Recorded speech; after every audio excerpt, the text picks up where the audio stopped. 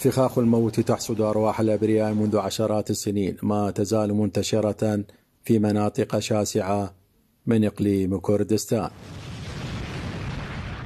الألغام والمخلفات الحربية كابوس وخطر كبير يهدد أرواح المواطنين دون القدرة على السيطرة عليها نهائيا لوجود مساحات شاسعة ملوثة بها في المدن والقصبات والمناطق الحدودية في إقليم كردستان وجزء من مدينة الموصل. 775 كيلو متر أو مليون متر مربع سجلت بأنه أراضي ملوثة في أقليم كردستان ومنها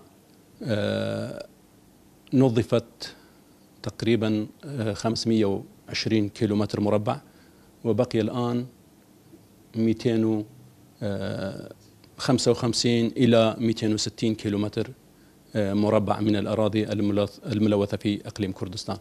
وأوقفت حقول الألغام الحياة المعيشية للسكان المعتمدين على الزراعة وتربية المواشي وسببت هجرة العديد منهم فيما أخذت على عاتقها مؤسسة شؤون إزالة الألغام في الإقليم توعية وتوجيه المواطنين بأخذ الحيطة والحذر عند تنقلهم في المناطق الملوثة. بصراحة يعني إلها دور يعني. هذه الرسائل والجلسات التوعية ونشاطات التوعية بشكل عام إلها دور يعني في تقليل الحوادث.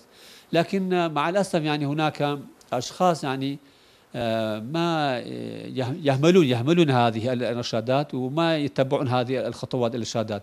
لأن إذا هم يعني يتبعون ومثلا يطبقون هذه الإرشادات والرسائل التوعية يعني بالتأكيد يعني يقلل الحوادث وأشارت تقارير دولية إلى أن الألغام والمخلفات الحربية لا انتهاء لصلاحيتها حتى لو بقيت أكثر من مئة عام فيما تتطلب جهدا دوليا وأجهزة هندسية متطورة وتخصيصات مالية للخلاص من هذه الملفات الخطيرة.